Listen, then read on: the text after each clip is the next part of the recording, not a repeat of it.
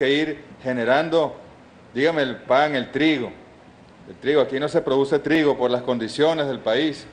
Y sin embargo, bueno, hay un gran esfuerzo que se hace también para garantizar que haya trigo para el pan, pero tenemos que ir mezclándolo con otras harinas, con yuca, con frijol, con otras harinas para ir superando el trigo, que incluso hay unas que son mucho más nutritivas que el trigo, ¿verdad, Iván? Sí, es así. Félix. Quería, quería comentar que efectivamente uno de los retos que, tienen los productores venezolanos es que la materia prima de esto, que es el maíz blanco, solamente se produce en tres países del mundo, que es México, Sudáfrica y Venezuela. ¿Por qué? Porque tenemos dieta que tiene que ver con, con el maíz blanco. Por eso es importante que nuestros productores, y dígame el compromiso que tienen los estados llaneros, sobre todo aquí donde estamos ahorita, donde te- tiene- tenemos que ser nosotros soberanos en el maíz blanco. Nosotros en algún momento lo fuimos, ahorita en revolución, precisamente, cercano al año 2007 y al año 2008. Tenemos que, volver, tenemos que volver a llegar a esos niveles de producción y ser soberanos, porque cuando falta la materia prima solamente la podemos buscar en esos dos países. De resto, estamos seguros que nuestros productores tienen ese compromiso y lo saben, porque esta es nuestra arepa. Este es uno de nuestros principales platos de consumo alimentarios diarios. Así que bueno, hacemos el llamado a continuar la tarea, a continuar este compromiso de poder ser autosustentable, por lo menos en buena parte de los rubros que se consumen en Venezuela, que tenemos la capacidad de producirlo.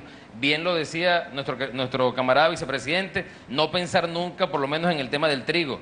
Imposible nosotros por las condiciones climáticas poder producir trigo. Tanto, nosotros somos el segundo país que consume más trigo en el mundo per cápita. También una dieta impuesta, sin duda, ¿no? Pero bueno, estamos nosotros en, en- en la batalla de, de educar, ¿no? Queremos educar en el tema alimentario. Así que, bueno, aquí aquí nos tarea. están pasando más productos. ¿eh?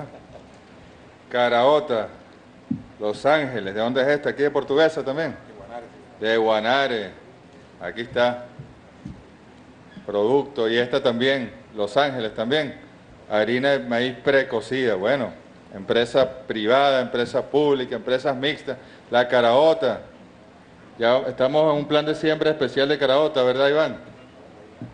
Sí, vicepresidente, para este año vamos a arrancar un plan precisamente acá en Portuguesa, con nuevas variedades, con nuevos materiales genéticos que permiten su cosecha mecánica y que estamos seguros, ahí se están comprometiendo varias de las asociaciones privadas en sembrar aquí en Portuguesa al menos unas 25 mil hectáreas. Creemos que este año vamos a tener un salto en producción bastante importante, resolviendo el tema de consiguiendo una variedad de caraota importada eh, que puede aguantar o que, o que se adapta mejor a la mecanización.